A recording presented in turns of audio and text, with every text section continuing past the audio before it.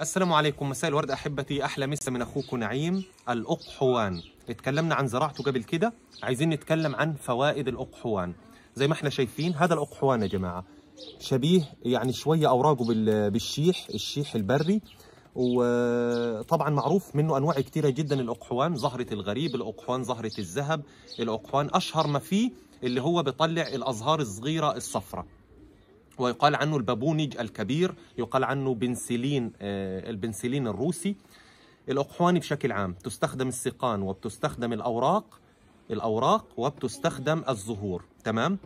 آه، آه، طبعا بنزرعه في البيت بيطرد الحشرات والبعوض ورائع جدا وما بيصابش بأي أمراض لكن بعيد عن زراعته لما نعوز نستخدمه يا جماعة بنجيبه من عند العطار يكون مجفف أو حتى لو في البيت نقصه ونجففه وبعد كده نستخدمه. هو شبيه بالمرامية عشبة القصعين ال- اللافندر شبيه بالعيلة هذه كلها والروزماري الأقحوان يا جماعة من أكثر الحاجات المضادة للبكتيريا والفطريات ومطهر.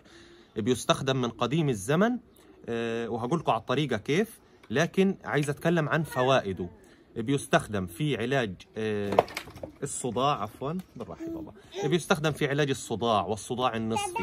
مطهر مطهر للأمعاء للمثانة للكلى آه، سموم الكبد أي مشاكل داخلية مشاكل في البشرة مشاكل في الجلد آه، تقرحات الفم أي حاجة مرتبطة بالتهاب أو مشاكل أو فيها تقرح أو أو أو هتعمل أي مشاكل ممكن تؤدي لالتهابات بيستخدم فيها الأقحوان.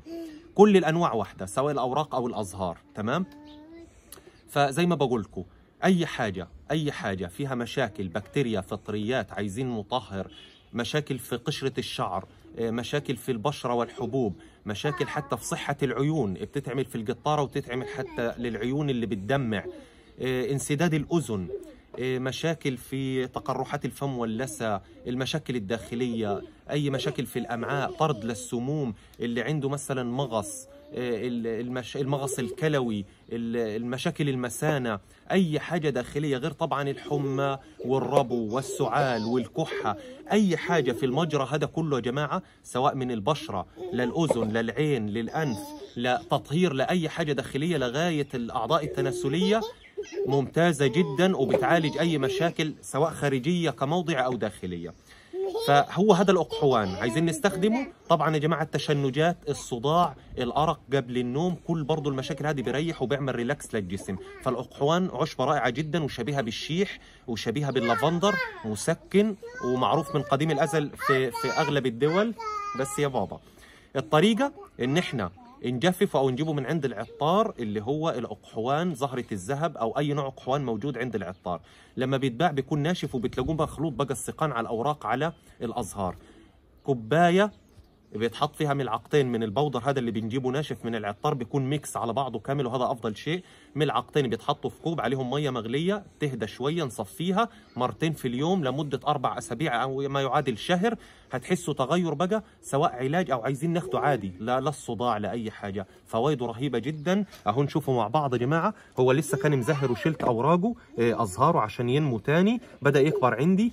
كله شبيه ببعضه. وله ريحة عطرية جميلة جدا ونفاذة. عاملة زي الكافور أو عاملة زي اللافندر. فأنصحكم بيه لأي علاج للحاجات اللي اتكلمنا عنها من أكثر المضادات الفطرية والبكتيرية شهرة ومعروف من قديم الأزل حتى من أيام الفراعنة. أحلى مسا من أخوكم نعيم فوائد الأقحوان الأكثر من رائعة ونشوفكم إن شاء الله في فيديوهات تانية. ورب نكون استفدنا معلومة حلوة والسلام عليكم.